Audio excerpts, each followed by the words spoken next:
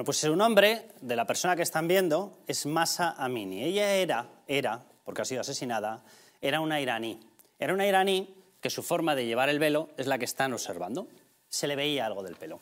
La policía la moral, la policía religiosa iraní, decide un buen día que no, no puede ser, eh, porque ese país al cual se cuidan muchísimo las feministas, por ejemplo en España, de criticar, resulta que consideraba que esto era un exceso de libertades. La coge y se la lleva a comisaría. Y lo siguiente que sabemos, esta historia fue hace ya nueve, ocho días, lo siguiente que sabemos es que muere. Según la policía y según el gobierno iraní, que dice que va a hacer una investigación muy dura, una investigación muy dura, murió de un infarto, sin que nadie la tocara. Aseguran que no ha habido ningún tipo de agresión. Cuando la cogieron estaba totalmente sana. Posteriormente aparece muerta, con 22 años. ¿Vale? Bien. Eh, aquí, la responsable del Ministerio de Igualdad, Irene Montero, después de mucho tiempo, eh, acaba de reaccionar con este mensaje que van a ver. Un mensaje en el cual, qué casualidad, lanza literalmente las mismas palabras que las que lanzó desde el primer momento el gobierno de Irán. Urge una investigación efectiva del asesinato de Mahsa Amini como exige la ONU, ¿vale? Y la ONU también lo ha respaldado. Esto mismo, lo de la investigación efectiva, lo dijo desde el primer momento el mismo gobierno iraní que había acogido a esta persona porque se le veía el pelo, eh, más allá del velo, y casualmente en su comisaría muere y muere asesinada. ¿Por qué? Por ser mujer y ser libre, ¿vale? Lo digo por las feministas de aquí. Y acto seguido dice, todas las mujeres que participan de las protestas en Irán deben saber, a ver qué es lo que deben saber, que cuentan con nuestro respaldo ante las violaciones de derechos humanos. Es decir, no da por hecho que haya sido una violación de derechos humanos, no da por hecho que haya sido asesinada por el gobierno, no da por hecho que haya sido asesinada precisamente por enseñar el pelo en un país en el que no permiten eso. ¿Y saben por qué? Lanza esta reacción. Está muy tibia, está muy patética, está muy vergonzosa reacción, porque va y da la casualidad de que el partido al que pertenece Irene Montero, y lo demostró a través de su pareja, Pablo Iglesias, ha tenido relaciones siempre, y especialmente en la fase naciente del partido, con Irán. De hecho, el propio Pablo Iglesias ha estado recibiendo dinero como él dejó constancia en la declaración de intereses del propio Parlamento Europeo cuando era eurodiputado, ha estado recibiendo dinero de Irán, de una teocracia que asesina homosexuales, que asesina a mujeres, ha estado recibiendo dinero a través de Hispan TV, un canal público iraní, por tanto dinero del gobierno de Irán, por tanto dinero de la teocracia y de la dictadura de Irán, a través del programa que él hacía, Forapache. Entonces va y resulta que el feminismo de todas estas personas varía. Si resulta que en España ocurre cualquier cosa, somos los hombres que somos asesinos, somos los hombres que llevamos en nuestro ADN la violencia, somos todos los hombres, todos los varones responsables de un asesinato colectivo de mujeres. Es más, incluso durante los días que pasaban, mientras esperaba la famosa reacción a lo que sí es un asesinato, sí es un país donde se violan los derechos de las mujeres, eh, tuvo tiempo Irene Montero de defender la pederastia, de hablarnos de que los niños tienen que tener derecho a mantener relaciones con adultos o no adultos siempre que tengan ellos el consentimiento, cargándose todo el sistema penal de protección a los menores. Tuvo tiempo de eso, mientras pensaba esta reacción si a esto se le puede llamar reacción. Con toda mi falta plena de cariño y todo el mensaje dirigido a esos colectivos feministas que tenemos en España, feministas ultras y de verdad última, última, última esperanza de las mujeres que de veras buscan una defensa, porque están utilizando el dinero presupuestario no para defenderlas, sino para montarse sus chiringuitos. Da vergüenza. Estos sí son países donde se violan los derechos de las mujeres. ¿Quieren ustedes defender a las mujeres? Los tienen que defender efectivamente donde se violan sus derechos, no inventándose supuestos asesinatos colectivos de supuestas manadas de hombres que corresponden nada más y nada menos que a la mitad de todo un país. Pues si somos 46 millones a 23 millones de hombres. No, déjense de llevarse el dinero necesario, entre otras cosas, por ejemplo, porque por supuesto que hay agresiones en España, por supuesto que hay machismo en España, pero si ese dinero que ustedes se llevan, por ejemplo, a su ministerio para enchufarse todos más de 500 millones de euros por año, daría para pagar una partida extra de policías de 15.000 agentes, protegiendo de verdad a las mujeres que tienen amenazas de verdad. Háganle la pregunta, a ustedes que les gustan tanto los referéndums, háganle la pregunta a las mujeres. A ver qué prefieren, si un ministerio lleno de enchufes o prefieren una dotación especial de policía con 15.000 agentes. Y cuando les contesten, cuando se hagan la pregunta y les contesten, nos lo cuentan. Da vergüenza. Ni Irene Montero protege a las mujeres, ni Irene Montero le importa un soberano comino, que es lo que ocurre en Irán, y simplemente sale con este tuit a paliar el tema, a hacer como que ha reaccionado y se acabó la historia. ¿Quieren defender a las mujeres? Empiecen a defenderlas de verdad. Empezamos.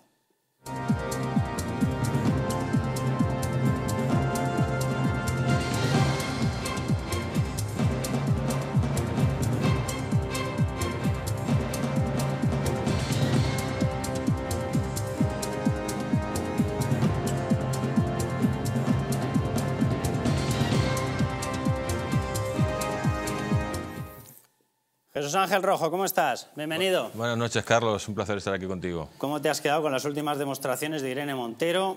Uno, frente a Massa Amini. Si de veras quieren defender a las mujeres, anda que no tienen países en los cuales dejarlo claro. Por cierto, incluso en España si quieren, pero céntrense en lo que de verdad es la amenaza contra las mujeres, no en lo que se inventan para conseguir partidas presupuestarias con las que dotar sus chiringuitos. Y dos, que las vamos a ver ahora, las famosas declaraciones de que, según ella, los niños, los menores, cualquier niño, todos los niños, dice ella, tienen derecho a mantener relaciones sexuales con adulto o no adulto y luego dice además, dice, es que ha manipulado las declaraciones la extrema derecha, es que no había nada que manipular, no dejó nada a la imaginación. Jesús Ángel. Bueno, Irene Montero representa la barbarie directamente, la barbarie en todos los sentidos, en el sentido de que calla cuando asesinan a mujeres en Irán y luego además eh, generaliza cuando asesinan aquí eh, a una mujer y acusa a todos los hombres de un país de ese asesinato. Luego también calla cuando hay asesinatos aquí que son de colectivos que a ella le interesa callar, ¿no? O sea, si hay una manada compuesta por cinco españoles, sale en todos sitios y ella es la primera que sale en esas manifestaciones, pero hay miles y miles de manadas de, personas que no son originales de aquí de España y ella calla.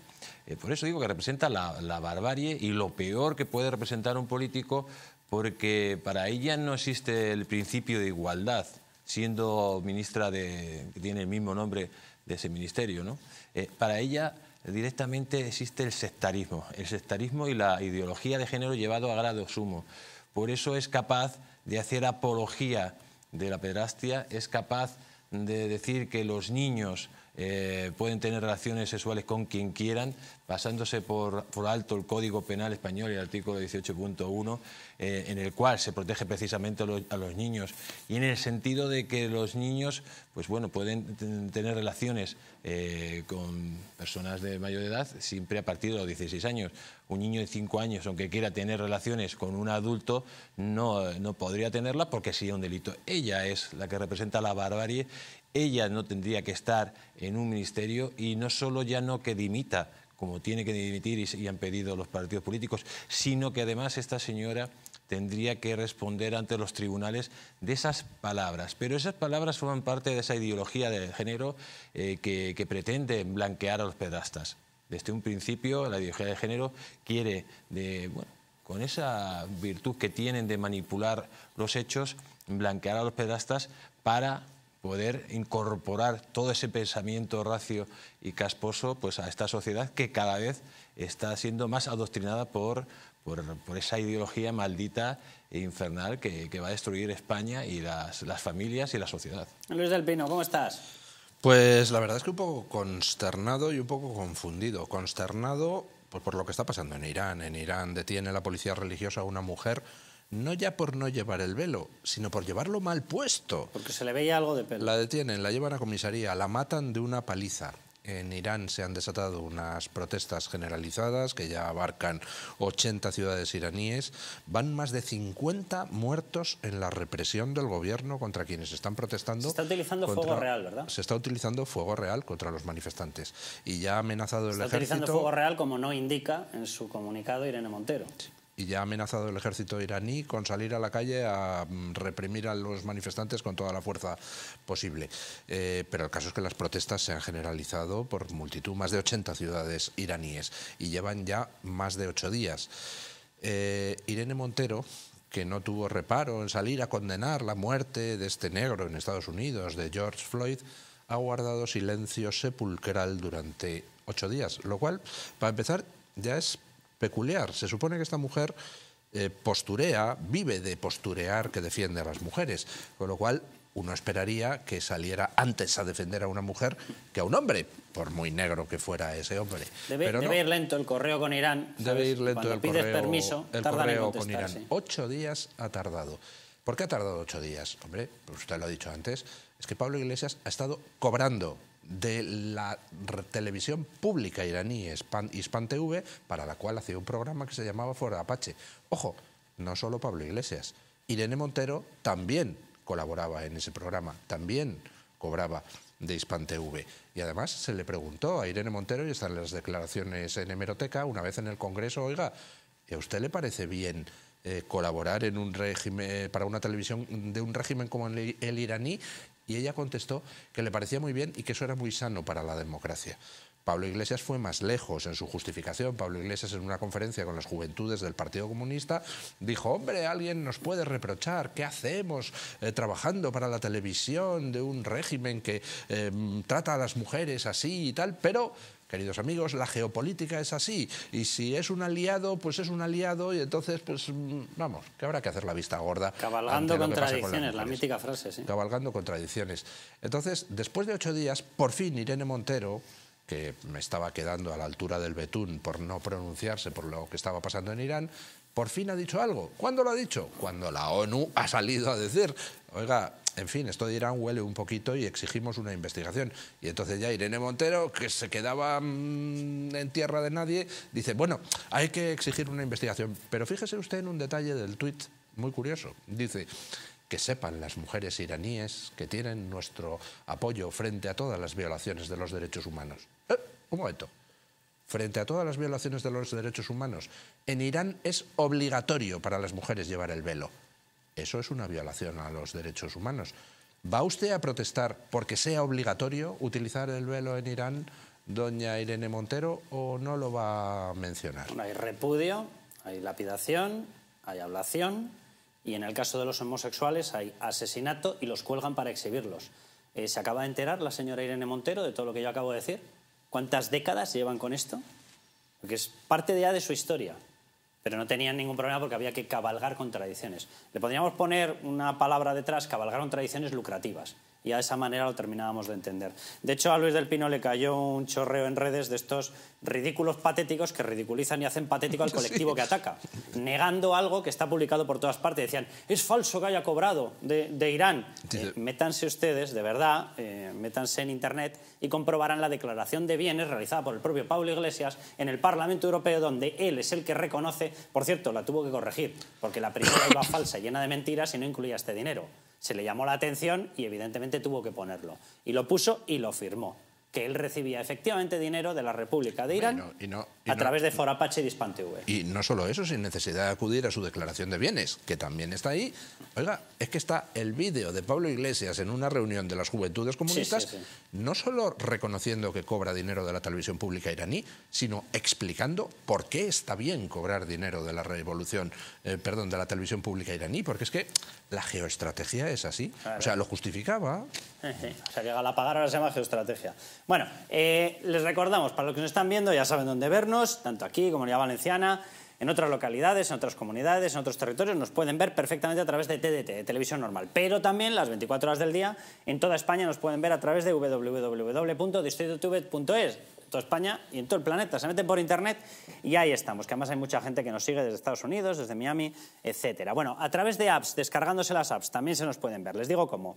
Para dispositivos Android, en la tienda de apps de Google Play Store, para dispositivos iOS, Apple, iPhone, etcétera, en el Apple Store. Para televisores con sistema Smart TV acceden al Content App Store de su Smart TV y para Smart TV con sistema Android lo tienen que hacer en el Play Store y ahí se pueden descargar la aplicación y con dispositivo Fire TV Stick compatibles en dispositivos Google Chromecast, dispositivos Amazon y dispositivos Xiaomi, ahí también se pueden descargar la app y nos ven cuando ustedes quieran, repiten los programas lo que quieran, se los ponen a la hora que mejor les venga, lo más cómodo del planeta. déjenme que les hable de Naturhaus, que hemos vuelto todos del verano, pues a lo mejor hemos comido un poquito más, ¿no? De lo, de lo que deberíamos. Bueno, pues en Naturhaus les van a ayudar a todos los clientes a adquirir hábitos alimenticios saludables para que alcancen el peso ideal y mejoren su calidad de vida. Todo ello acompañado de suplementos a base de productos naturales que ayuden a conseguir el objetivo de una manera sana y eficaz, bajo un asesoramiento dietético gratuito. Van a disponer de un programa de cita regular y gratuito con un nutricionista que va a hacer un seguimiento de su caso de forma permanente. Va a ser su guía durante todo el proceso para que consiga el peso saludable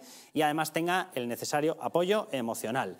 Eh, su nutricionista le va a ir adaptando además el plan de alimentación personalizado a medida que vayan avanzando en el tratamiento para asegurar que se mantiene la salud y que además se alcanzan los resultados deseados. Pueden pedir ya cita gratuita en su centro más cercano o solicitarla online y les decimos dónde en www.naturhaus.es. Bueno, y vamos con lo que sí que le interesaba, por lo visto a Irene Montero, necesitaba tiempo, ¿verdad?, para ver que había sido asesinada una persona porque enseñaba el pelo más allá del velo en Irán. Eso ah, no, no le corría demasiada prisa a reaccionar, por cierto, ni a ella ni a todas las asociaciones feministas, que aquí estamos esperando, estas de todos los hombres sois asesinos, cuando ven un asesinato y no les interesa el país, no les interesa el colectivo, ahí callan, no vaya a ser que se les acabe el maná, ¿verdad? Bueno, pues ¿en dónde se metía? En un pedazo de charco, ahora lo vamos a analizar, vamos a hablar además incluso desde el punto de vista jurídico, qué es lo que ha dicho, Ahora, según ella, las palabras que van a ver han sido manipuladas y retorcidas por la extrema derecha. Bueno, véanla ustedes y nos cuentan si hay algo salvable de esas declaraciones.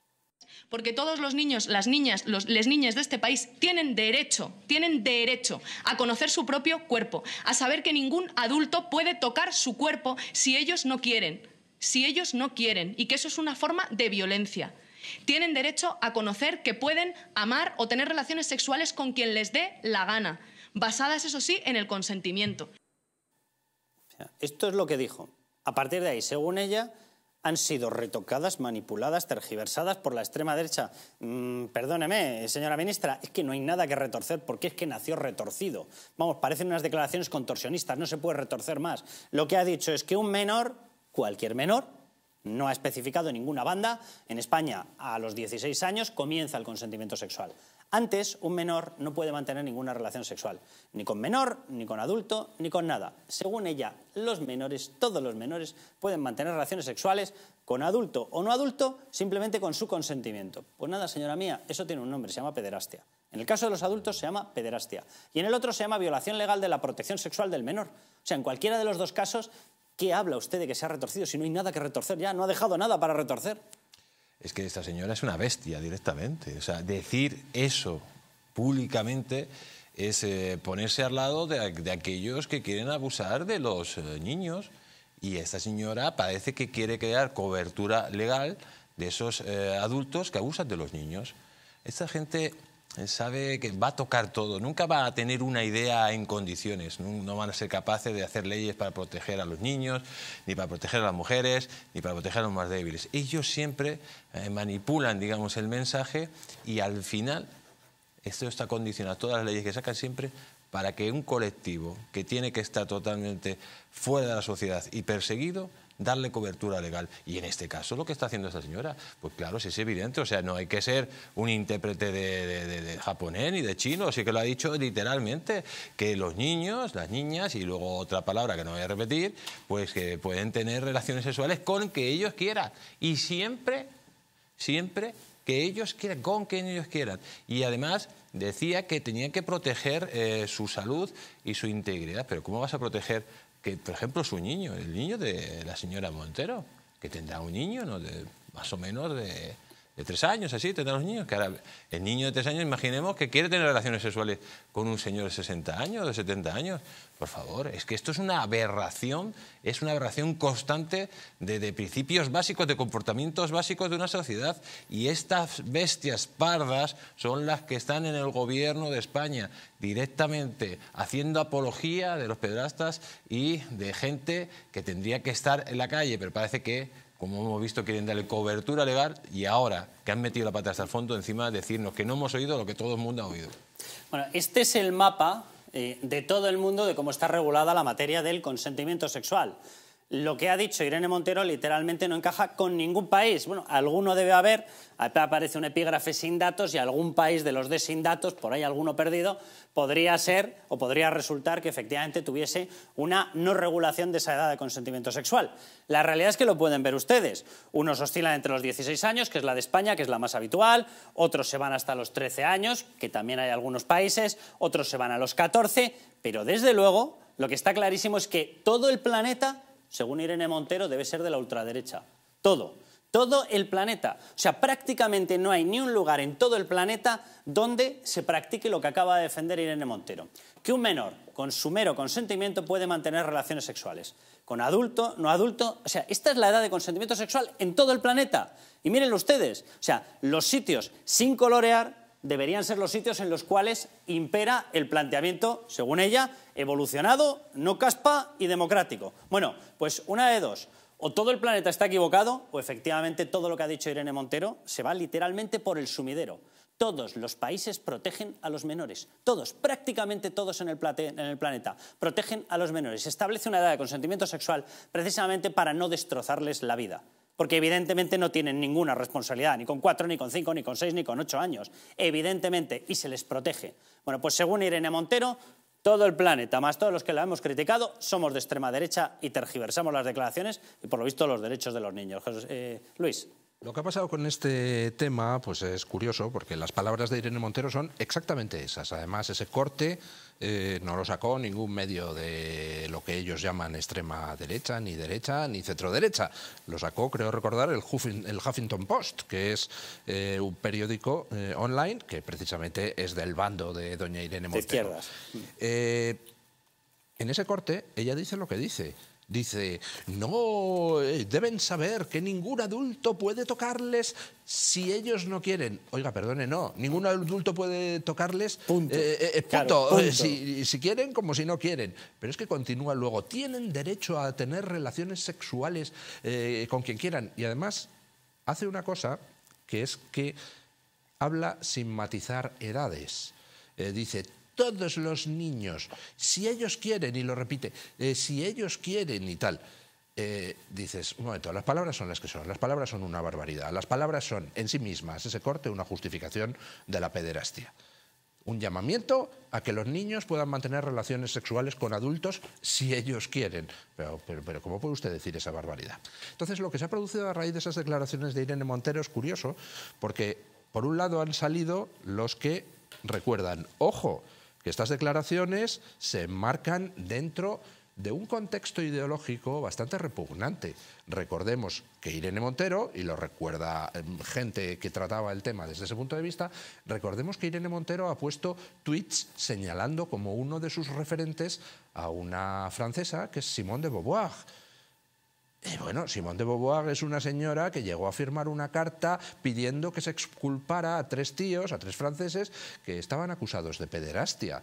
Es decir, estamos en una cosa donde a uno le queda la duda de si Irene Montero se mm, ha liado o si verdaderamente quería decir lo que quería decir. Por otro lado, ha habido mucha gente que ha entrado a decir, hombre, no, se están malinterpretando las palabras, porque efectivamente ha dicho lo que ha dicho, que es una barbaridad, pero están sacadas de contexto, porque venían de una comparecencia muy larga, de una hora y pico, donde se venía de hablar del aborto de las menores de mayores de 16. Entonces, aunque ella dice todos los niños, hay que interpretar que se refiere a todos los niños mayores de 16. Bueno, eh, nadie usa para los mayores de 16 la palabra niños, eh, utiliza chicos, chicas, adolescentes o lo que quiera. Pero, de todos modos, perdónenme ustedes, es que nosotros no trabajamos para el gobierno, es el gobierno el que trabaja para nosotros. Nosotros no tenemos que hacer de exégetas, nosotros no tenemos que interpretar qué ha dicho Irene Montero. Lo que ha dicho literalmente es una puñetera barbaridad. Entonces, que no quería decir eso, tendrá que ser ella la que salga a decir, no, miren, vamos a ver, me han malinterpretado, veníamos en una comparecencia muy larga, eh, me expresé mal lo que quería decir, pero tendrá que ser ella. ¿Pero qué es esto de que tengamos que andar los demás aquí intentando encontrar excusas para justificar lo que dijo Irene Montero? Perdone, ¿tiene lengua Irene Montero para hablar? Sí. Pues entonces que explique lo que ha querido decir. Pero en lugar de explicarlo y en lugar de pedir perdón por expresarse mal si es que se expresó mal y no quería decir lo que dijo, pues en lugar de eso, Irene Montero, ¡ah! Bulos de la extrema derecha. Oiga, que no es un bulo, que ha dicho usted una puñetera barbaridad. Vamos a verlo, vamos a verlo si os parece, porque efectivamente se le piden explicaciones y dice, oiga, usted acaba de decir que un menor con su consentimiento puede tener relaciones sexuales con quien quiera. Es más, que todo menor puede hacerlo. Banda 0 a 3 años, 3 a 6 años, 6 a 9, eso es lo que usted ha dicho. Y la prueba más evidente es que acabamos de poner las imágenes y juzguen ustedes. Lo ha dicho, lo ha dicho. Y se le da la oportunidad. Se dice, salga usted y lo rectifica. Rectificar, escuchen vergüenza la campaña de la extrema derecha, me da auténtica vergüenza. E insisto, contra mí, las terminales mediáticas como usted de la extrema derecha y la extrema derecha que hagan lo que quieran, pero este país se merece un debate y un acuerdo sensato para garantizar el derecho de los niños y de las niñas a una educación sexual que les permita tener vidas libres de violencias y que les permita en un futuro vivir libremente su sexualidad y sus relaciones afectivas. ¿Dónde está la rectificación? ¿Dónde está el matiz? ¿Dónde está la corrección? No, no, no, no. Eh, ratifico que hay que hablar o hay que hacer y abrir un debate potente sobre eh, la sexualidad de los niños Con lo cual, ahí, que podría haber dicho perfectamente, dentro de la protección y respetando siempre eh, la exigencia de la edad de consentimiento sexual en los 16 años, no lo hace, pero mantiene que hay que abrir un debate sobre eso. Y acto seguido lo que hace, o, o, mejor dicho, acto previo, lo que hace es insultar a todas las personas que lo único que han hecho es replicar literalmente lo que ella ha dicho. Por tanto, tenemos que sacar como conclusión que no rectifica se le ha dado la oportunidad y no solamente no rectifica, sino que insulta a todas las personas críticas. Y hay un, hay un problema, don Carlos, es decir, yo estoy dispuesto a admitir que existe la posibilidad de que se equivocara, se expresara mal, pero en cualquier caso eso es ella la que lo tiene que aclarar. Pero a mí es que me queda la duda de que a lo mejor no se equivocó y a lo mejor quería decir lo que dijo, porque... por eso este lo digo por la parte final de la declaración, porque ella insiste y dice hay que abrir un debate sobre la sexualidad y el derecho a la sexualidad de los niños. pero sí Entonces, que está claro, si, si, ella se equivoca diría, oiga, pido disculpas porque me he confundido a la hora de hablar, que me refería a que los niños a partir de 16 años pues van ya a elegir libremente su sexualidad. No, no, ella insiste, porque ese es el parte del pensamiento de ideología de género. Ellos quieren abrir la cobertura legal a la, los pedastas directamente quieren darle cobertura legal, si es que lo dicen por activa y por pasiva. Y luego, claro, la respuesta es evidente, la respuesta es de un comunista. El comunista nunca va a justificar o va a dar eh, justificaciones de sus actos. El, comunista siempre actúa insultando y atacando al contrario, y sobre todo eh, tildándole y faltándole al respeto que si es de ultraderecha o de ultraizquierda. Señora mía, esto no es de ultraizquierda o de ultraderecha, esto es de una bestia parda que ha dicho una barbaridad y lógicamente no puede estar ni un segundo más en el gobierno de España, ni puede estar haciendo apología del abuso de menores como acaba de hacer. Ya está. Pero ella, en su pensamiento retorcido y en sus ideales, quieren darle, lo voy a repetir, quieren darle cobertura al abuso de menores. Y por eso no pide perdón y, y encima insiste en lo mismo que ha dicho. Vamos a, ver las reacciones políticas, si quieres. Eh, Luis, y te doy la palabra. Empezamos por eh, Ayuso, Isabel Díaz Ayuso. El Ministerio de Igualdad, el de Igualdad, atenta contra la infancia con unos mensajes intolerables acerca de las relaciones sexuales entre niños, saltándose a las propias familias y no digamos a los derechos de la infancia. Y mientras, precisamente es la infancia y la juventud las que están siendo más atacadas, que tienen problemas extraordinarios y que nadie aborda. Le están robando años a la infancia y prolongando años, sin embargo, a la adolescencia. Engañan a los jóvenes con mensajes de todo gratis, revoluciones a ninguna parte y supuestos derechos como el de actuar sin tener que responsabilizarse por nada. Vamos con la segunda de las declaraciones. Edmundo Val, Ciudadanos. Comparecencia que ha tenido la señora Irene Montero aquí en el Congreso en unos términos absolutamente inadmisibles. Sin ningún rubor, sin ningún sonrojo, esta persona que lo que pretende es adoctrinarnos a todos en los eh, valores y en los catecismos, en los mandamientos de la izquierda española, porque ya saben que mantienen su propio modelo de ciudadano ejemplar, el cual hay que seguir para obtener el beneplácito de los responsables políticos que deberían gobernar para todos los españoles, se permite decir que los niños, niñas y niñes de este país pueden prestar su consentimiento libremente para mantener relaciones sexuales con adultos. Iván Espinosa. El cese inmediato o la dimisión de la ministra y el cierre de un ministerio que no ha hecho más que daño a los niños, a las niñas y a las mujeres en España. Si no se produjera eso, y en previsión de que así sea, hoy presentamos una PNL, una proposición de reprobación de la ministra de Igualdad.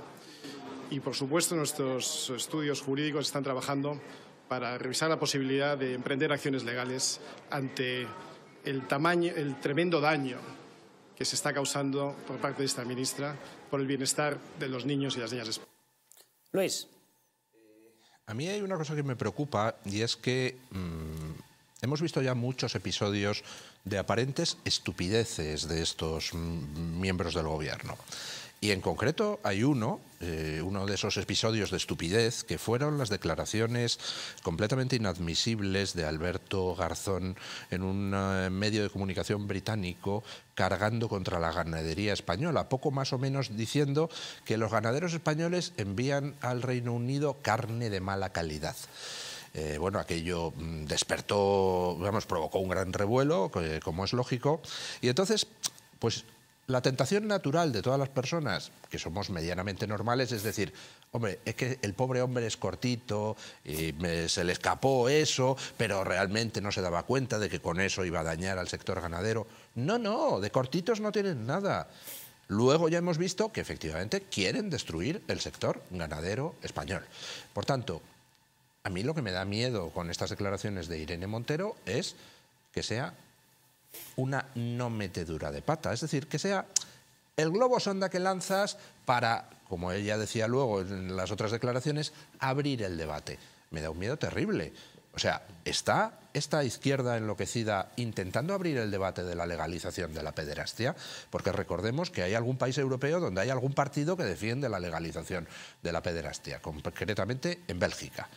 Bueno, mm, me da mucho miedo eso y por eso, pues permítame decirle, doña Irene Montero, los demás no tenemos que interpretar nada de lo que usted dice. Nosotros escuchamos y hemos visto la barbaridad que ha dicho en su literalidad. Es usted la que tiene que dar explicaciones de si le hemos entendido mal, de si se ha expresado usted mal. Tiene, por ejemplo, que salir a la palestra y decir, no, no, cuando yo decía todos los niños, niñas y niñas, no quería decir todos los niños, niñas y niñas, sino todos los niños, niñas y niñas mayores de 16 años. Salga usted a la palestra y dígalo, aclárelo, porque es usted la que tiene la obligación de aclarar sus palabras.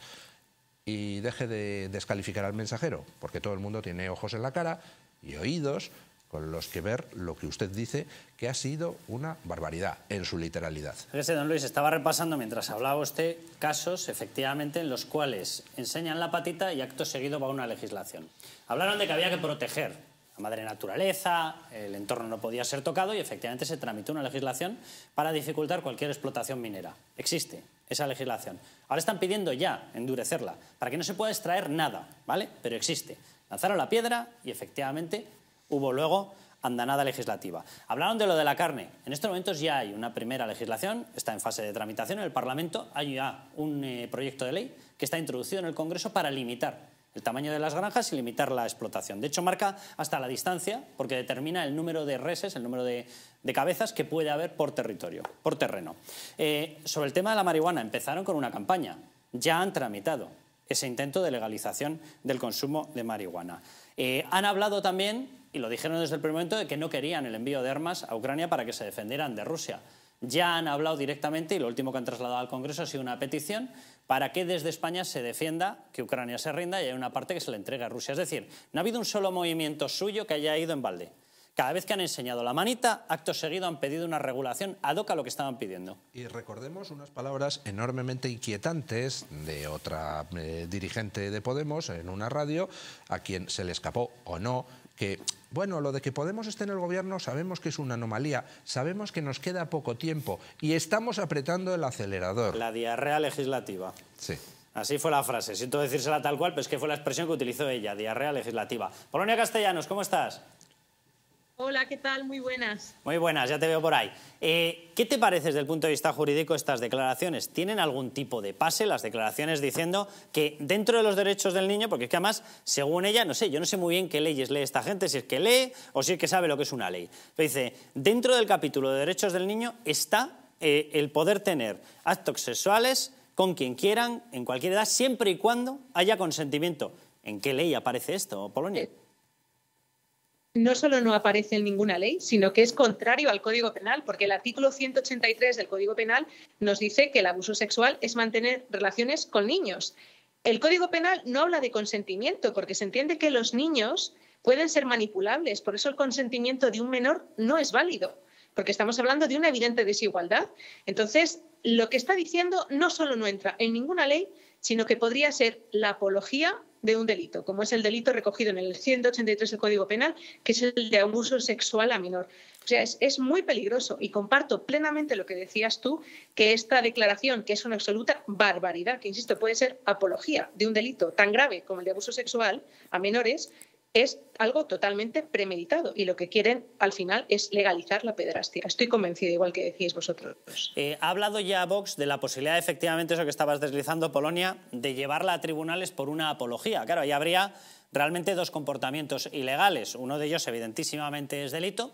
Sería el delito de pederastia, es decir, mantener relaciones sexuales un mayor con un menor, efectivamente ni consentimiento ni consentimiento. Por debajo de los 16 años el consentimiento no vale absolutamente para nada, salvo por lo visto para Irene Montero. El otro comportamiento que también sería ilegal sería el que dos menores mantuvieran eh, relaciones sexuales por debajo de esa, de esa edad. Eh, ¿Puede prosperar, puede triunfar esa reclamación, esa querella de la cual ya está hablando Vox? Pues nosotros hemos interpuesto una denuncia también. Tengo confianza, siempre se tiene confianza en la justicia, ¿no? en, que prosperen las cosas cuando son justas. Y es que esto, el derecho muchas veces es interpretable, pero es que lo que ha dicho esta señora no es interpretable, es que es algo que está recogido como un delito en el Código Penal. Entonces, creyendo en la justicia y viendo las declaraciones de esta señora y su similitud absoluta con el artículo 183 del Código Penal, debería prosperar. Sí que es verdad que estamos en un país donde la Fiscalía ya sabemos de quién depende y ya sabemos cómo funcionan las cosas, pero si en este país hubiese justicia, esta señora debería ser inmediatamente imputada. Y si además fuese una señora rada, después de lo que ha dicho, debería dimitir. Y yo creo que eh, los padres, ya no solo los abogados, los padres, tenemos que hacer frente a estas declaraciones porque ahora sí que hay un peligro evidente hacia nuestros hijos. ¿Podría tener relevancia jurídica el hecho de que se le haya dado la oportunidad de retractarse y lejos de retractarse lo único que ha hecho ha sido atacar a la gente que unos más críticos, yo crítico, pero otros, efectivamente, como decía don Luis del Pino hace un momento, oiga, que el primero que recogió las declaraciones fue el Huffington Post, ahora va a resultar que el Huffington Post es crítico con la izquierda. Pues efectivamente, porque cualquiera, puede, cualquiera podemos equivocarnos y cualquiera podemos eh, tener una declaración desafortunada o errónea, pero en el momento que ella dice algo que no se equivoca o supuestamente no se equivoca, aunque no lo rectifica, es que además hay una premeditación y hay una total intención de decir lo que ha dicho. Entonces, ella no se puede escudar ahora en absolutamente ninguna excusa para que se la exonerase de lo que ha hecho, que, insisto, es que es un delito. Entonces, es, cierto que se podría haber disculpado, podría haber puntualizado, podría haber matizado las cosas. Como no lo ha hecho, lo que entendemos es que era plenamente consciente de lo que quería decir y lo que quería decir es la apología de un delito. Polonia, te hago una pregunta, no tiene nada que ver con esto, pero hemos comenzado, bueno, yo, creo que sí que tiene que ver con el planteamiento de fondo de Podemos, ¿no? Pero hemos comenzado el programa con ello. Eh, la pobre chica iraní, 22 años, eh, asesinada en una comisaría de, ese país, de Irán, porque eh, se le veía algo de pelo, al parte del pelo, más allá del, velo. No llevaba correctamente el velo y ese fue el dictamen de la policía suya religiosa, de la policía de la moral. Eh, ¿Qué te parece la reacción, si se le puede calificar de tal? Es verdad que ya ha habido un tuit por parte de Irene Montero diciendo que pide lo mismo que Naciones Unidas, que por cierto es lo mismo que pidió el propio gobierno iraní, que dice una investigación efectiva y rigurosa. Y a partir de ahí lanza un mensaje genérico de nosotros siempre defenderemos a las mujeres en eh, la lucha por los derechos y en las violaciones de esos derechos humanos. ¿Te parece equiparable la reacción que tienen cuando este tipo de muertes ocurren, por ejemplo, en Irán? que cuando nos acusan a todos los hombres de asesinos y de asesinos compinchados en España, en cualquier caso de los que aparecen de violencia machista? Evidentemente que esta señora lo que, por lo que la conocemos es por el doble rasero que utiliza. Entonces, si fuese consecuente con sus acciones, ahora lo que tendría que hacer es cogerse el Falcon, igual que se le cogió para ir de vacaciones con sus amigas a Estados Unidos, y sentarse en Irán ¿no? y exigir explicaciones al gobierno iraní de lo que está pasando. Y por otro lado, si fuese consecuente también esas supuestas donaciones que recibe del gobierno iraní, pues debería rechazarlas. Entonces, cualquier cosa que diga esta señora, mientras no haga estas dos cosas que ha hecho en otras ocasiones, pues insisto, irse de viaje con las amigas a costa de todos, pues la verdad es que pierden toda credibilidad. Y sobre todo lo que dices tú, que en España resulta que todos los hombres sois asesinos y violadores en potencia y, cuando está demostrado que de lejos no es así. Violador es el que viola y asesino es el que asesina, con independencia de si es hombre o mujer. Y en cambio resulta que en Irán las cosas son de otra manera, porque como dice el refrán, no se muerde la mano del que te da de comer, ¿no? Polonia, un abrazo muy fuerte y muchas gracias. Muchísimas gracias. ¿Creéis, eh, Jesús Ángel, que esto le va a hacer daño a Podemos? ¿O sus votantes ya tienen descontado absolutamente todo tipo de desfachatez, de obscenidad, da lo mismo ya? Si los votantes de Podemos, hay algún votante de Podemos que es una persona de bien, pues lógicamente tendrá que hacerle daño. Yo creo que hay gente en la izquierda que tiene hijos y no querrá que sus hijos sean abusados por eh, personas de, mayor edad, ¿no? Evidentemente, esto es, es algo tiene que ser común a todos, a la izquierda o a la derecha, la protección de la, de, la infancia. Esto no tiene sentido, esto no es cuestión de, que quiero que, que, haya más impuestos o menos impuestos, es proteger a la parte más débil de esta sociedad, que son los niños. Evidentemente, creo que eh, tiene que hacerle daño, sobre todo a esa gente que tiene un mínimo de sentido común. Eh, es evidente que hay otros que están en, otro planeta y ni siquiera han encontrado el significado de lo que esta señora eh, quería decir, porque ellos lo basan, fíjate lo que dicen, derecho a actuar eh, como ellos quieran, que los niños tienen derechos. Claro, los derechos, los niños claro que tienen derechos, pero el que no tiene derecho de abusar de un niño es, es un perrasta, que es como tú quieres darle ese derecho.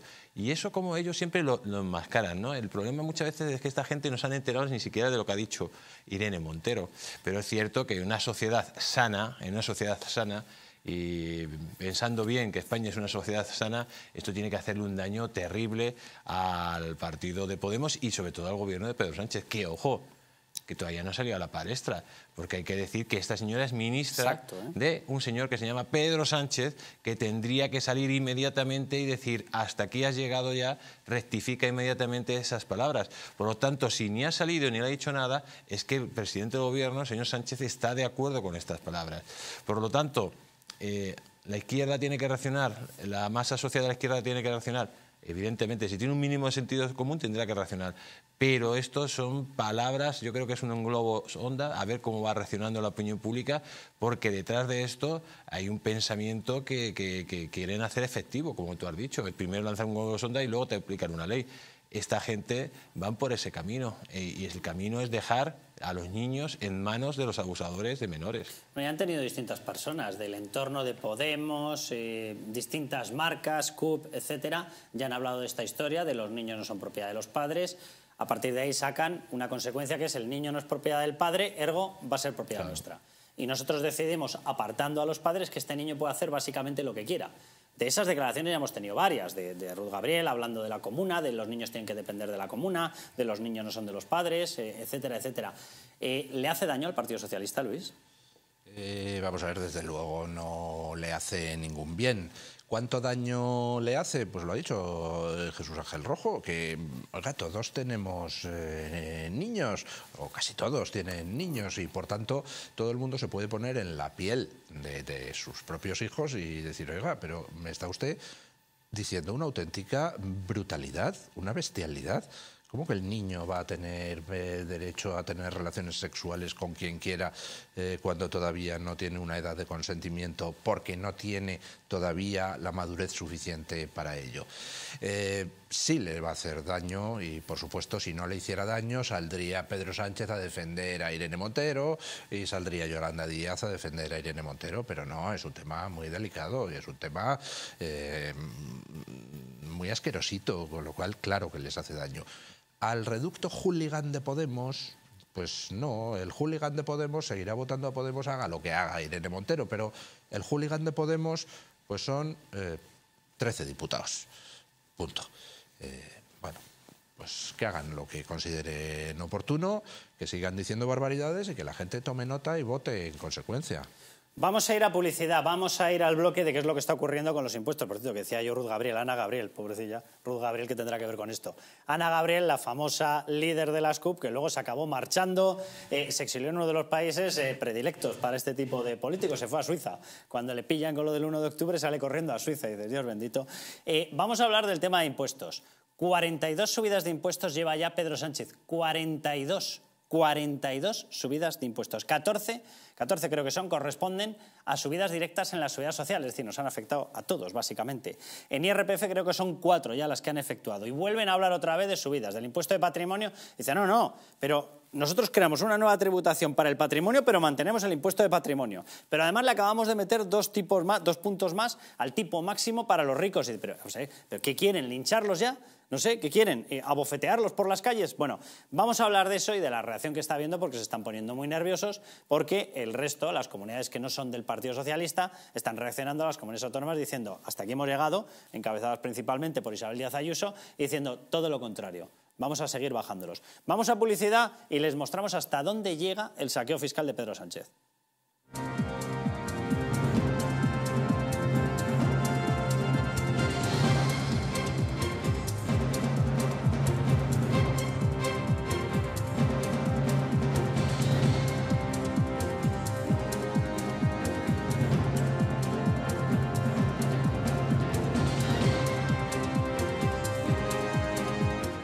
Naturhaus es el mejor método para perder peso de forma saludable y sin pasar hambre. Desde la primera visita, una asesora te enseñará a cambiar tus hábitos hasta alcanzar tu peso perfecto. Lo conseguirás gracias a complementos alimenticios a base de extractos naturales y platos deliciosos. Apúntate ya en tu centro Naturhaus más cercano y online a través de naturhaus.es. Naturhaus, 30 años de experiencia en nutrición y dietética. Hotel Las Dunas, un lugar mágico en el corazón de la Costa del Sol. En primera línea de mar, situado en un oasis de armonía, tranquilidad, enfocado en la salud y bienestar de nuestros huéspedes. Desconecta del estrés y la monotonía del día a día. Estancias con programas exclusivos y personalizados de salud, rejuvenecimiento y control del peso. Elegancia y bienestar junto al mar sin renunciar a la actividad y la vida saludable. Descubre las Dunas Hotel Health and Spa, el más exclusivo de toda la Costa del Sol.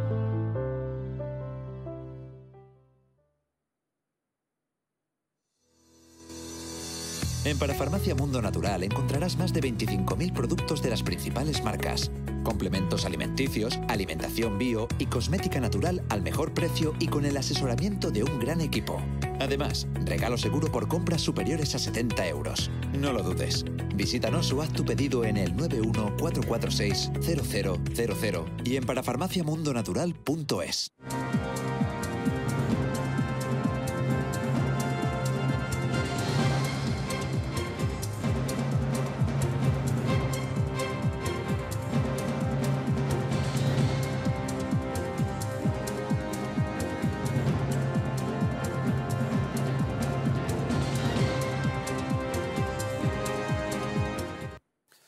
Bueno, pues vamos con el tema fiscal. Eh, al Partido Socialista, a Podemos, a Bildu, a Esquerra, a todos estos ya saben que tienen dos objetivos. Uno, cargarse España. Dos, cargarse a la gente que vía esfuerzo ha conseguido salir a flote. Le molesta a la gente. La gente que tiene más ingresos de la media les molesta. Habría que explicarles que el término media se compone por los que están arriba y los que están abajo. Si tú te cargas a los de arriba, la media baja.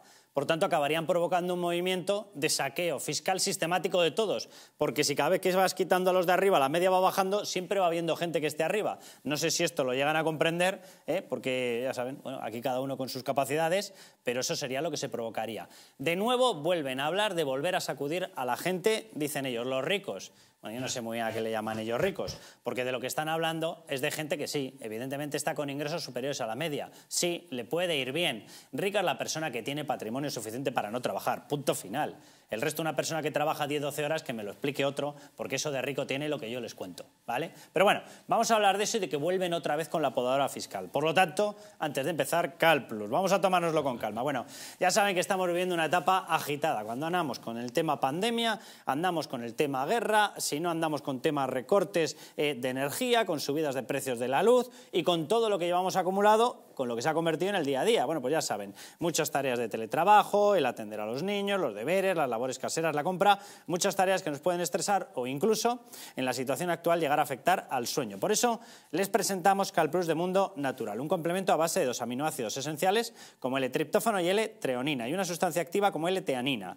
Una combinación que CalPlus complementa con nutrientes como la nicotinamida y la piridoxina que contribuyen al funcionamiento normal del sistema nervioso y la función psicológica normal y que además ayuda a disminuir el cansancio y la fatiga y mejora el estado de ánimo. Relájense y encuentren CalPlus en su tienda habitual y en Parafarmacias Mundo Natural, que lo quieren adquirir a distancia, pues también les decimos cómo hacerlo. En la web parafarmaciamundonatural.es o llamando al teléfono 91 446 0000. CalPlus de Mundo Natural. Os hago una primera pregunta antes de comenzar.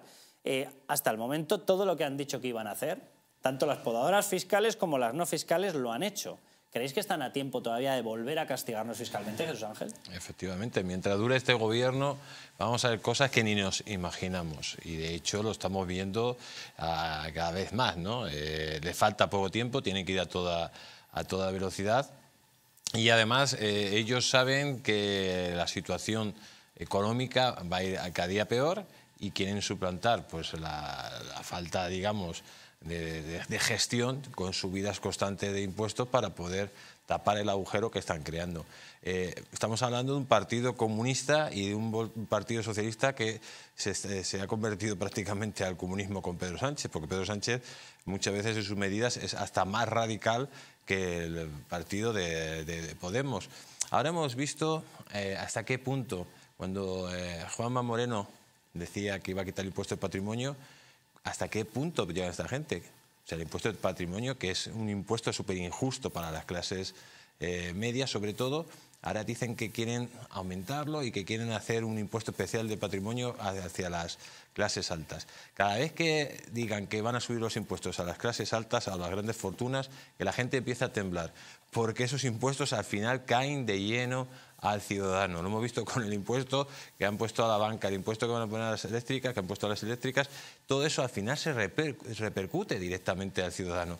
¿Por qué? Porque si tienen una ganancia que es X y esa ganancia no la tienen porque hay una serie de impuestos, pues el que lo paga es el cliente final, eh, que va a ser en este caso.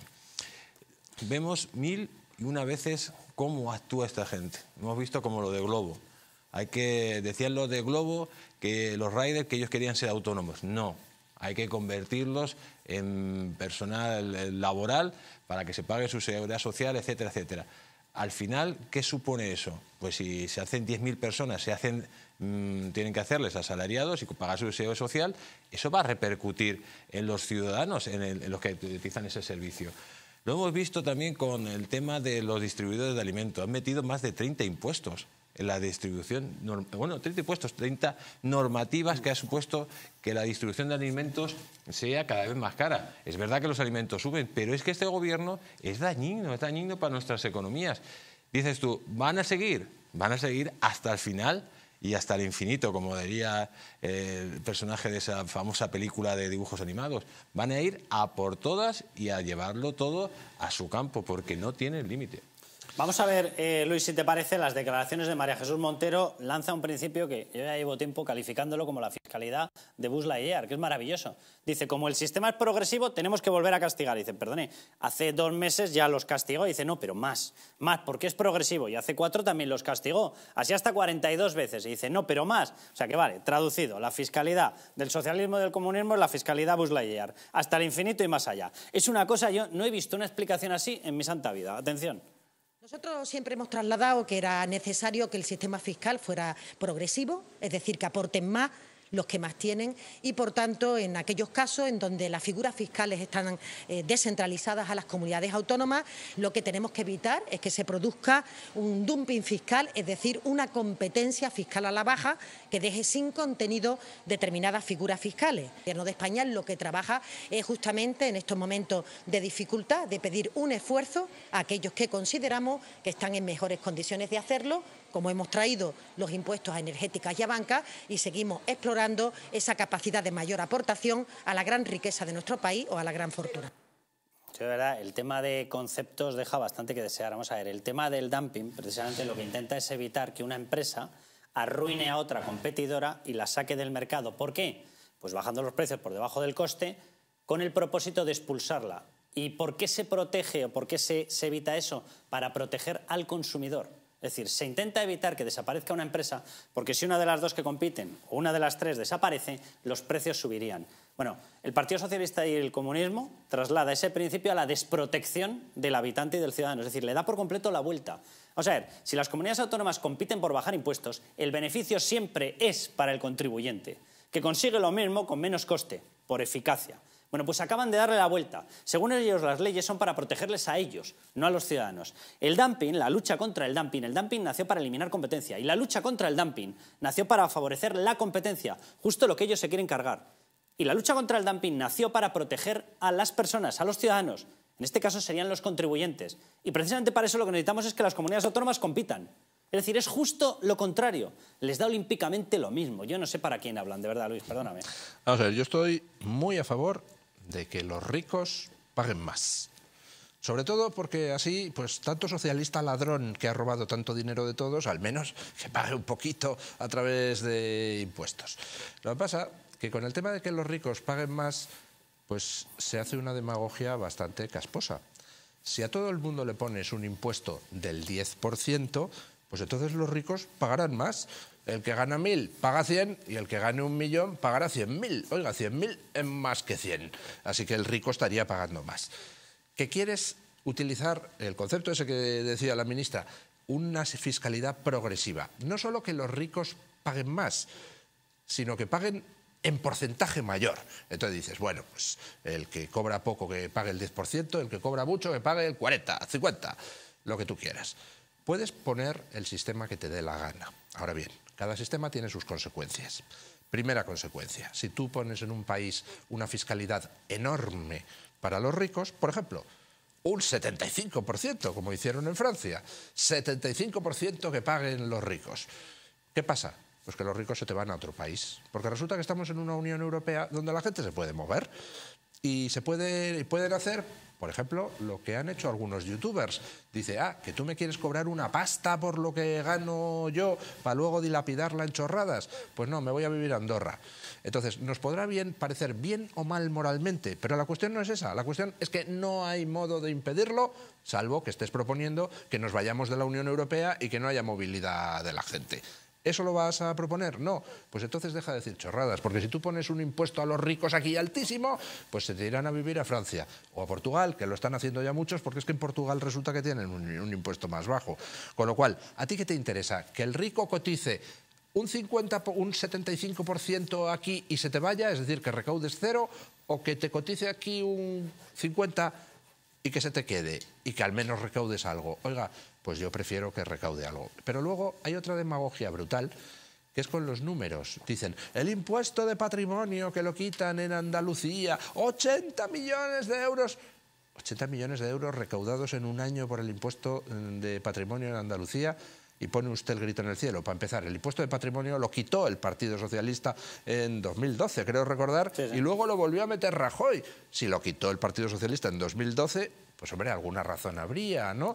En época de Zapatero. Pero 80 millones, 80 millones es lo que se fuma cualquier socialista en tres minutos. Por ejemplo, Pedro Sánchez regalando 130 millones de dólares a Bill Gates en un día para hacerse una foto. Y nos ponen eh, en un día frente a 80 millones que se recaudan en un año. Mire, ¿sabe usted cuál es la mejor manera de que los ricos paguen más. Deje de tirar su dinero, el de los ricos y el de los pobres. Nos están ustedes saqueando para al final gastárselo en porquerías. Ese es lo que tienen que abordar.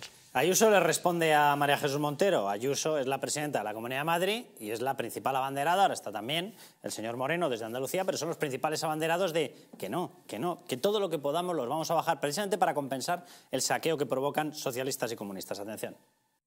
Hoy me veo en la obligación de criticar lo que ha dicho el ministro, que ha amenazado a los impuestos de todos los madrileños, como lo ha hecho Podemos, por cierto, que ayer decía que los jueces eran un peligro público. Los mismos también están amenazando la fiscalidad de la Comunidad de Madrid.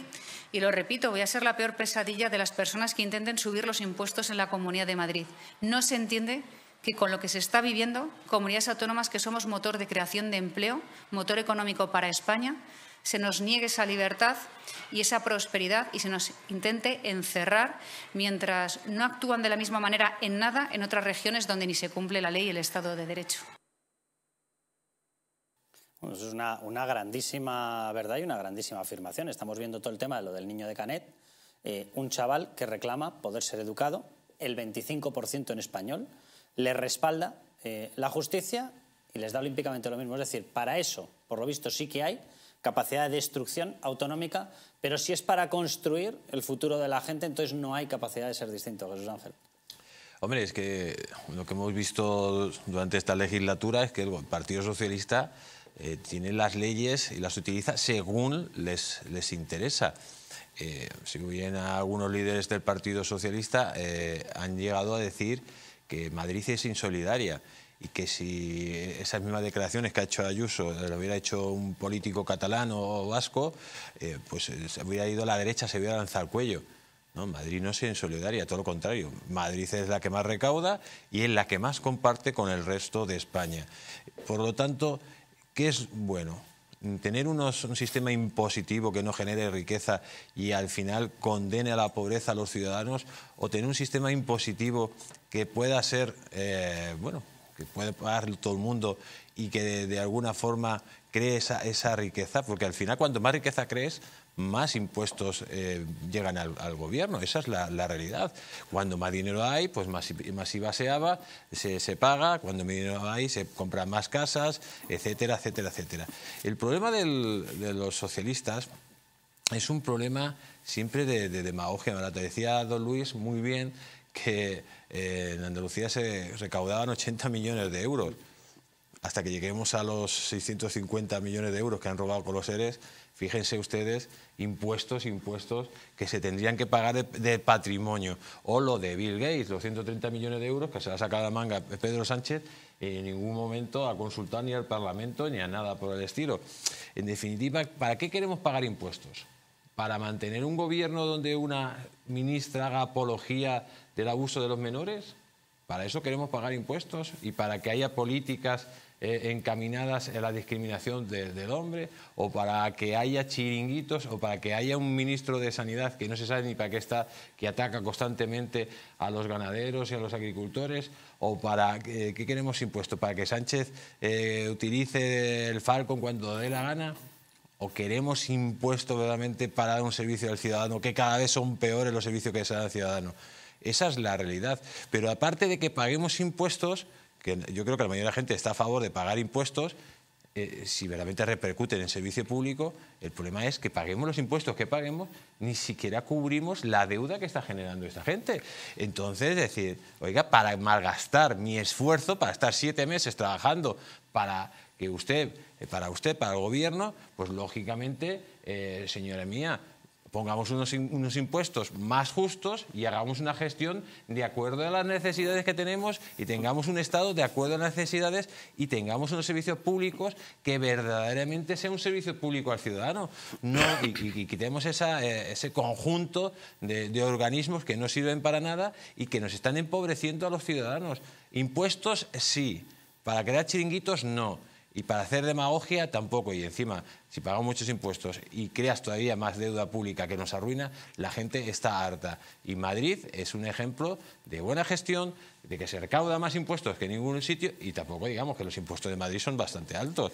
O sea, que, que no, es- no es una panacea lo que se está pagando aquí, que pagamos bastante, eh, que yo creo que hay mucho margen para bajar impuestos. Por ejemplo, si ponemos como ejemplo eh, Irlanda, que es un ejemplo de un país que está creciendo a toda velocidad gracias a su sistema impositivo. Ahora vamos a explicar, de hecho, ese gráfico, pero quiero que antes veamos las declaraciones de Chenique, porque lo que estáis comentando es importantísimo. O sea, esta historia de al rico siempre hay que apalearlo fiscalmente, punto uno, eh, ¿cuál es el concepto de rico?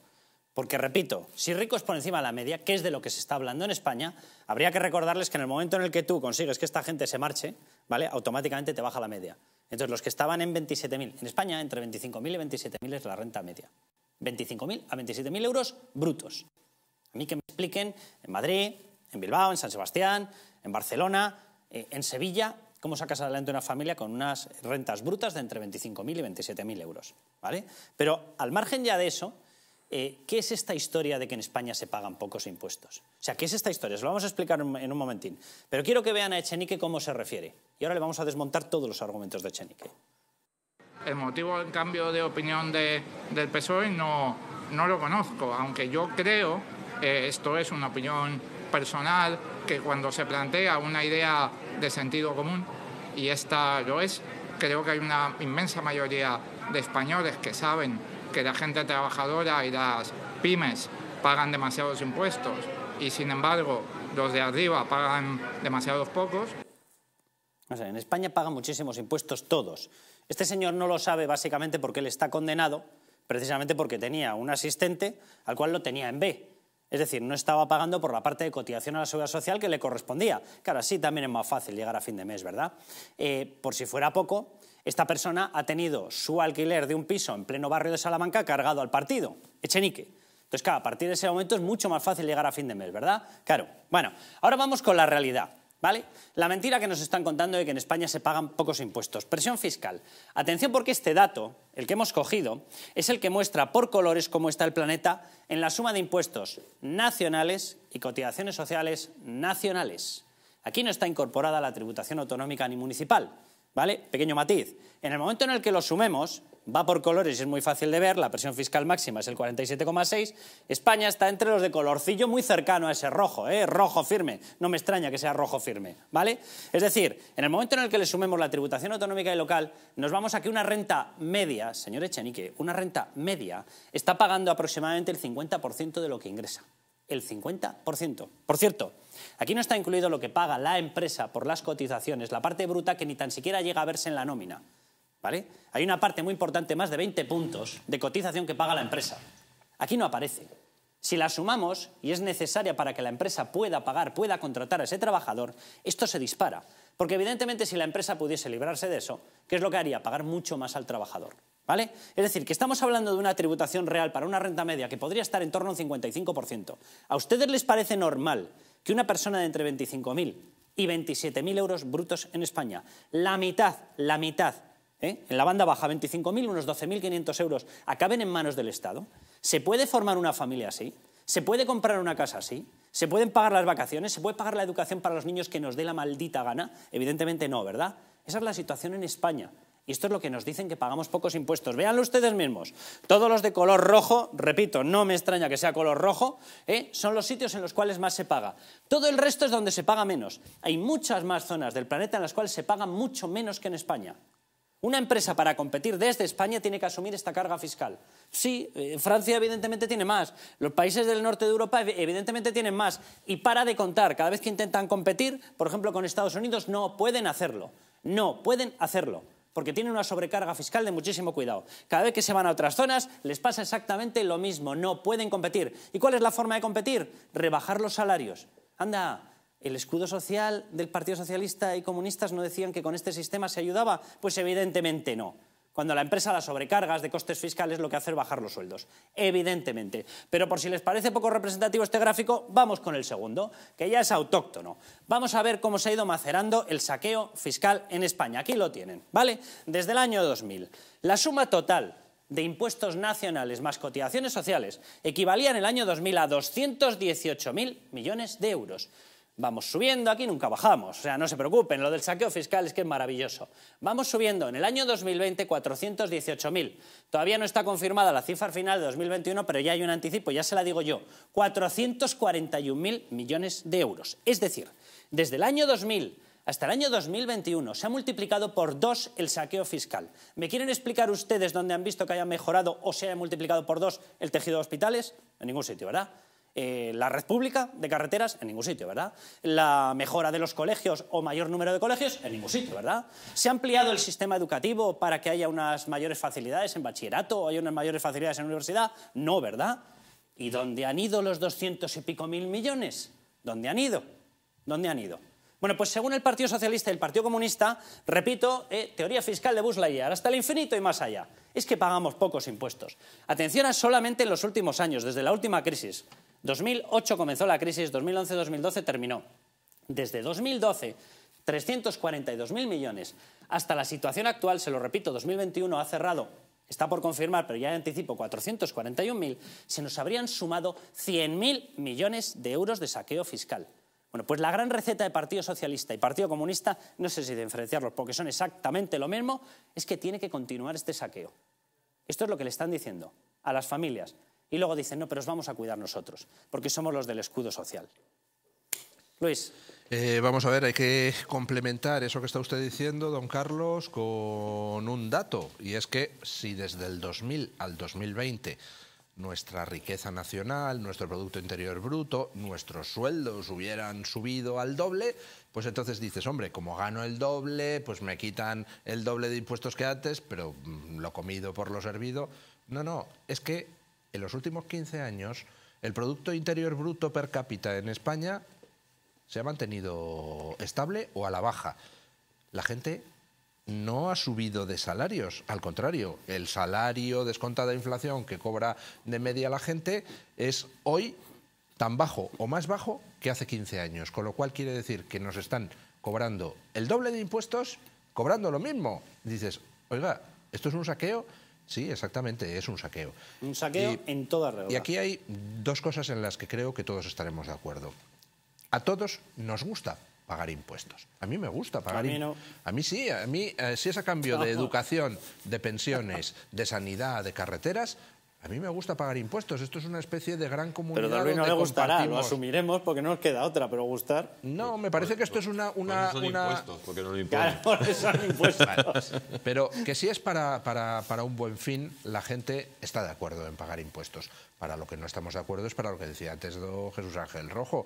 Yo pagar impuestos para que Irene Montero coloque a todas sus amiguitas en su ministerio con unos sueldazos a vivir de mis impuestos, pues lo siento, no, porque entonces siento que me están robando. Y como yo, creo que opina el 99% de la gente. Claro, tú pagas, Para pagas- sanidad- claro, pagas impuestos con dos fines. Uno, mantener los costes sociales, es decir, las carreteras, el mantenimiento de una, necesidad, de una neces- necesaria red de convivencia. Y para ayudar efectivamente a la gente que no tiene oportunidades. No para los que tienen oportunidades pero tienen la cara más dura que el cemento. Entonces, lo primero que habría que hacer es empezar a meter mano en el gobierno, empezar a recortar todos los gastos inútiles. Usted lo ha dicho muy bien antes, los servicios no se nos han duplicado desde el 2000 al 2020. No tenemos mm, una sanidad el doble de mejor y una educación el doble de mejor. No, nos están cobrando el doble de impuestos para darnos lo mismo. Oiga, pues aquí algo no funciona. Entonces, lo primero, corregir eso. Y lo segundo, pues yo creo que todo el mundo entiende perfectamente cuál es el problema de fondo. Si el gobierno pone un 0% de impuesto, ¿cuánto recauda? Cero, ¿no? Y si el gobierno pone el 100% de impuesto, ¿cuánto recauda? Pues cero, Cero. porque como se queda con todo el dinero, la gente no tiene ni para consumir, ni para vivir, ni para producir, ni para nada. Con lo cual, en los dos extremos, el gobierno gana cero. ¿Cuál tiene que ser el impuesto teóricamente mejor? Oiga, pues eso depende de infinidad de factores. Eh, eh, primero, empiezas a subir eh, y llega el- a un cierto porcentaje donde alcanzas el máximo de impuestos. Pero como pases de ahí, empieza a bajar lo que el Estado recauda, la ¿sabe usted famosa ese- curva de la FER. Ese cálculo, efectivamente, ese cálculo se hizo en España, lo hizo un catedrático, además un gran catedrático, José Félix San, y marcaba el tipo del 34%. En España tenemos en estos momentos, con el de castigo que ya existe a los ricos, lo tenemos en el 47%. A partir del 34%, el problema ya no solamente es que fuese, desde el punto de vista moral o ético, una aberración, confiscación, es que era inútil. Es que encima provocaba pérdida de recaudación. Pues ahí seguimos, hasta el infinito y más allá. Es que. Entonces, lo que hay que hacer es meter mano a eso y decir, oiga, ¿estamos cobrando los impuestos correctos? Pues no, no los estamos cobrando. Los impuestos son excesivos y lo puede decir cualquiera al ver cómo llega o no llega a fin de mes. Pues habrá que bajarlos, queridos. Juan Carlos Bermejo, ¿cómo estás? Hola, buenas noches, Carlos. ¿Coincides con nuestra tesis de que nos saquean fiscalmente e impunemente? Sí, ya, y además desde hace décadas. Totalmente. Eh, mira, Carlos, em, tú sabes, como hemos leído, hemos visto, que em, de enero a junio, a julio, perdón, el Estado recaudó 22.000 millones más que el año pasado. Y, y es, que, es que eso no es verdad, fueron 26.000, porque viendo el informe, eh, esa cantidad de 22.000 está ya descontando los 4.000 que le ha devuelto el Estado central a las autonomías que le deben del año 2020. O sea que realmente el expolio de este año ya vamos por 26.000 millones más, Carlos. Pero mm, mira, yo, yo no le voy a mandar un mensaje a, a Sánchez ni a, ni a Belarra, porque ya sabemos que son eh, saqueadores. Yo se lo voy a mandar, con tu permiso, a Ayuso, a Bonilla, a López Miras y a Feijó, que dicen que es que el Estado se está, el gobierno se está forrando. Mira, Carlos, de esos 26.000 millones que llevamos, insisto, hasta julio, ¿tú sabes cuánto dinero han recibido las autonomías de estos tíos del PP? Estos que dicen que nos bajan los impuestos y que vivimos en el paraíso, ¿sabes cuánto han recibido de más en lo que va de año, Carlos? Por transferencias, más de 5.000 millones de euros. Pues mira, yo a estos les diría que si quieren bajarnos los impuestos de verdad y no como este eh, alfeñique de Bonilla que dice que va a quitar el patrimonio, esa inmundicia, ¿eh? Yo les diría que cogieran esos 5.000 millones y nos los devolvieran a todos los ciudadanos andaluces, madrileños, murcianos, castellano-leoneses, etcétera. Que nos lo devuelvan en un cheque el mes que viene. Eso es lo que tienen que hacer. Así demostrarían que están bajando impuestos y así nos ayudarían a luchar contra la inflación, Carlos. Porque hay- estoy harto hay- de tanta propaganda. ¿eh? Yo, Juan Estoy Carlos, que, que- que tengo quejas de, de las comunidades autónomas, yo de verdad que en este momento no le metería el dedo en el ojo a los que están devolviendo, porque dices tú que lo devuelvan íntegro. Vamos a ver, lo sabemos todos, en época COVID, quien tuvo que apechugar con el gasto fueron las comunidades autónomas. Y no es cierto que les ayudaran. El nivel de ayuda que les dieron no suplía ni un 30 ni un 40% de lo que tuvieron que poner las comunidades autónomas. Y mientras es verdad que las comunidades autónomas están soportando la pérdida de inversión en España, la pérdida de empresas, la destrucción de empresas que tampoco les viene de ellos.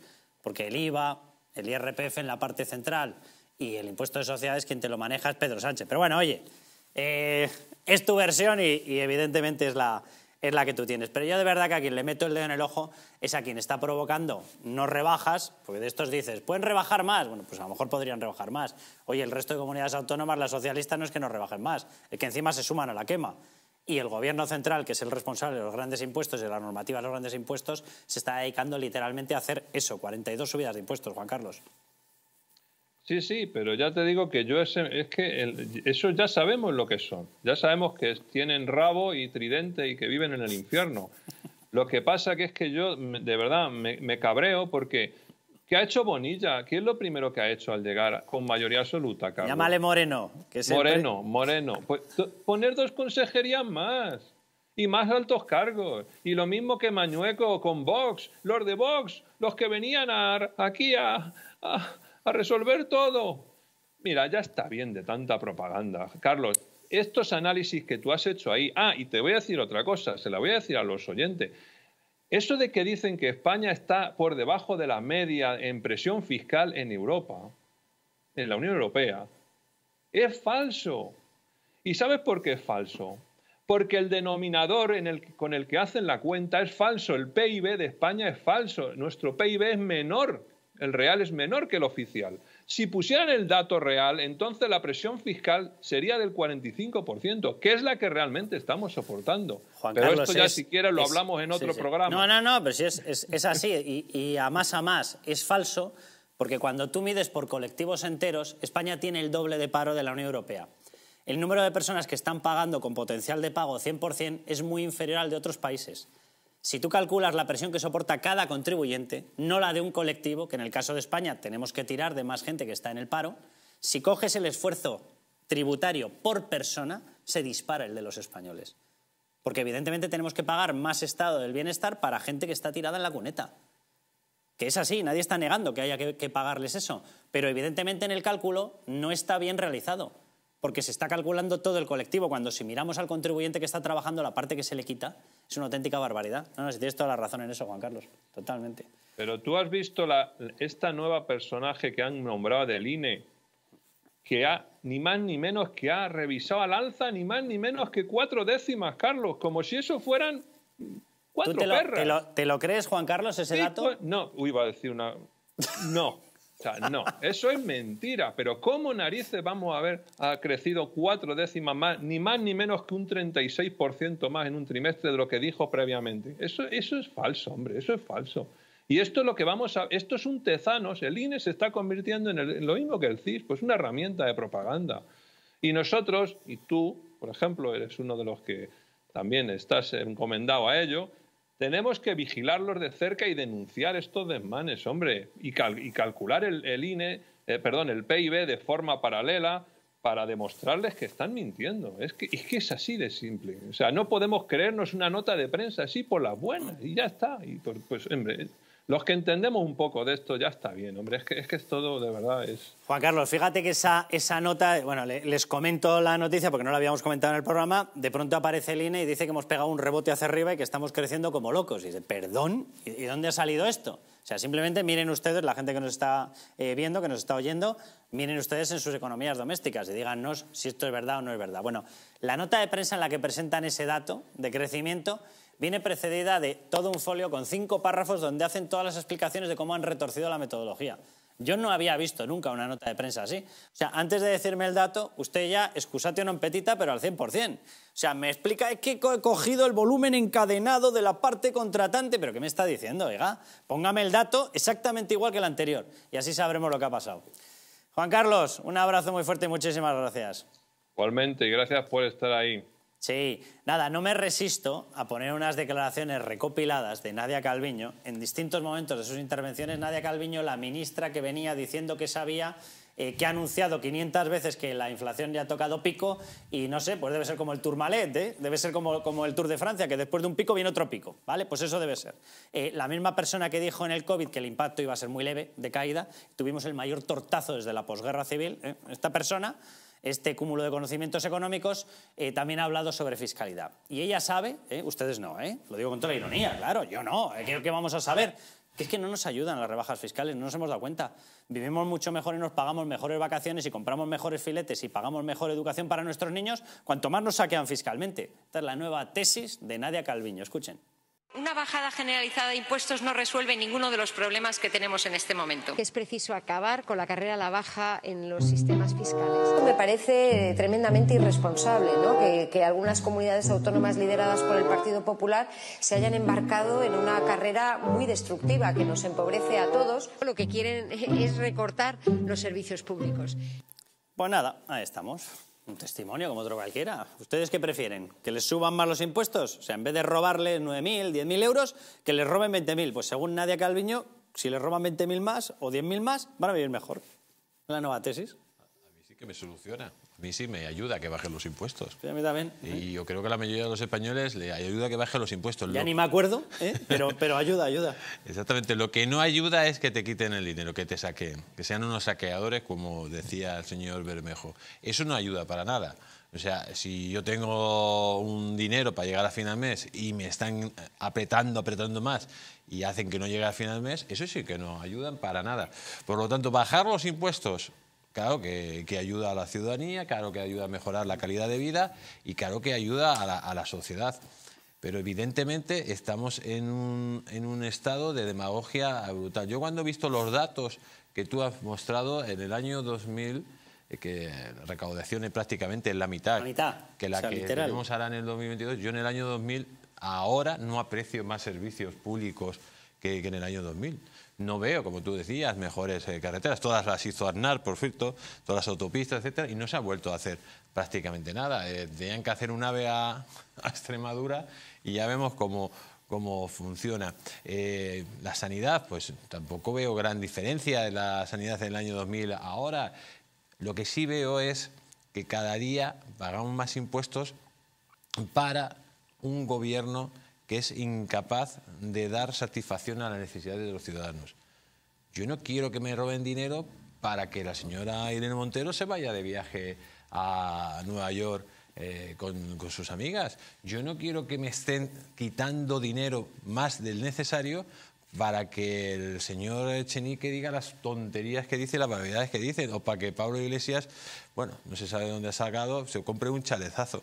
En definitiva, el dinero donde mejor está es la cartera de los ciudadanos, no la cartera de estos políticos que además que lo malgastan a saber dónde lo gastan, que ese es el gran problema. Por eso yo creo que la sociedad eh, en general quiere ya un cambio, una reforma fiscal en condiciones. Una reforma fiscal donde la clase media vuelva a ser clase media, donde se viva con un poco de soltura y donde no vivamos con el agua al cuello como estamos viviendo en estos instantes. Y esa reforma fiscal tiene que ir muchísimo más allá que la reforma que propone el Partido Popular.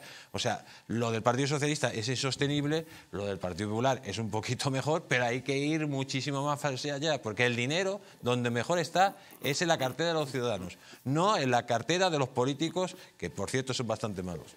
Nos vamos a publicidad, volvemos enseguida y vamos a hablar, porque ya ha habido declaración de Mónica Oltra, de esa eh, actuación judicial que está ya no juzgando, que está ya condenado, el que fuera marido de Mónica Oltra por los abusos a una menor. No, no.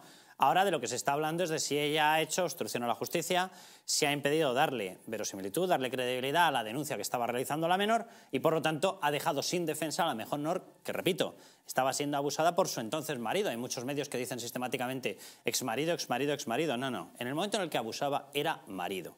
¿Vale? Era marido. De hecho, tardó luego un tiempo hasta que se separaron, ¿vale? Y durante todo ese tiempo, esa pobre chica, esa pobre niña, estuvo totalmente desamparada porque alguien, ahora dice ella, no lo sé, ha sido la respuesta estándar para todo. ¿eh? Le preguntan y dice, pero ¿hizo usted un contrainforme para que esta chica no tuviese o no se le diera credibilidad a las denuncias que estaba realizando? Dice, no lo hice yo y si me preguntas sobre lo hizo algún otro, eh, no lo creo. La respuesta estándar, no, no, no lo sé o no lo creo. O sea, esa ha sido la declaración. Vamos a publicidad y hablamos de todo ello.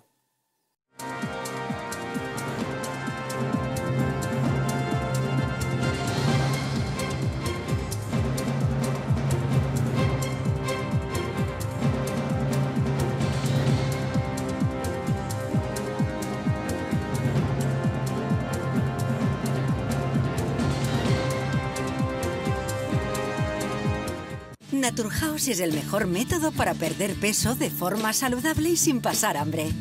Desde la primera visita, una asesora te enseñará a cambiar tus hábitos hasta alcanzar tu peso perfecto. Lo conseguirás gracias a complementos alimenticios a base de extractos naturales y platos deliciosos. Apúntate ya en tu centro Naturhaus más cercano y online a través de naturhaus.es. Naturhaus 30 años de experiencia en nutrición y dietética. Hotel Las Dunas, un lugar mágico en el corazón de la Costa del Sol.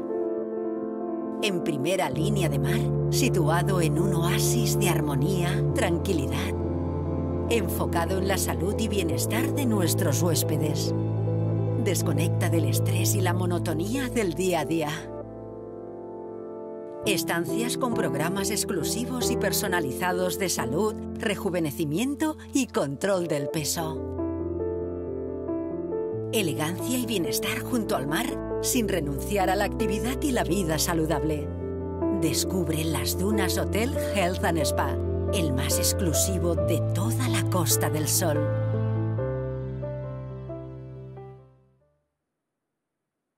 Estás a solo unas horas de que para farmaciamundonatural.es te haga llegar tu pedido con regalo incluido. Más de 25.000 productos de las principales marcas. Te esperamos.